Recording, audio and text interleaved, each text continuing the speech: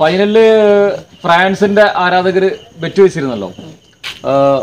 അത് വളരെ സന്തോഷത്തോടു കൂടി ആ ബെറ്റ് വിജയിക്കുകയും പിന്നെ അതുമായി ബന്ധപ്പെട്ട് ഇനി എന്താണ് തുടർപ്രവർത്തനം ചെയ്യാൻ ഉദ്ദേശിക്കുന്നത്? ഞങ്ങളെ അർജന്റീന ഫാൻസ് വെള്ളാറുമ്പ്. കുറേ കാലങ്ങളായിട്ട് ഞങ്ങൾ ആഗ്രഹമായിരുന്നു എല്ലാവർക്കും കപ്പ് അടിച്ച് കാണണം എന്നുള്ളത് അപ്പോൾ നല്ല ആഗ്രഹമായിരുന്നു. ഫ്രാൻസിനായിട്ട് കപ്പ് അടിച്ചിട്ട് കഴിഞ്ഞ ഞങ്ങൾ തോൽപ്പിച്ച് പുറത്തായതാണ്. അപ്പോൾ ഫ്രാൻസിന്റെ ആരാധകർ ഞങ്ങളായിരിക്കും പറഞ്ഞു വെറ്റിനുണ്ടോ ഞങ്ങൾ ആണ്ട് തിരിച്ചു ചോദിച്ചപ്പോൾ വെറ്റിന് വെക്കാമെന്ന് പറഞ്ഞു. പതിനായിരം രൂപയുടെ വെറ്റ് വെച്ചത്.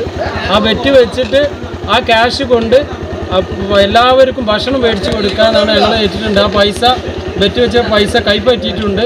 ആ പൈസ നാളെ ഏകദേശം ഒരു വൈകിട്ട് മരുവിന് ശേഷം ഇവിടെ വെള്ളാറമ്പിൽ വരുന്ന എല്ലാവർക്കും ഞങ്ങൾ ഫുഡ് മേടിച്ചു കൊടുക്കും എന്നതാണ്.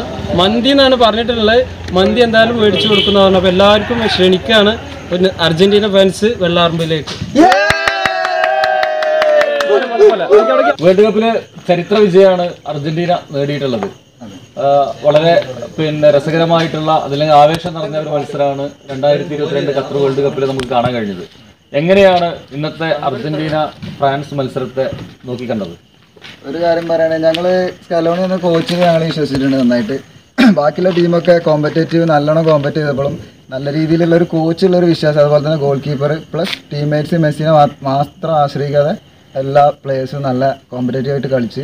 പിന്നെ എല്ലാ ടീമിലുള്ളതിന്റെ പുറമെ അർജന്റീനയ്ക്ക് വേറൊരു സംഭവം ഉണ്ടായിരുന്നു. അതായത് ഒരു സ്പിരിറ്റ് ഉണ്ടായിരുന്നു.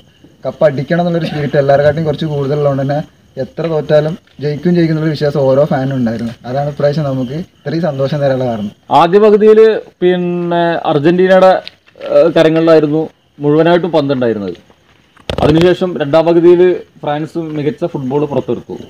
അതുകൊണ്ടാണ് സമനിലയിലേക്ക് കളി നീങ്ങിയത്.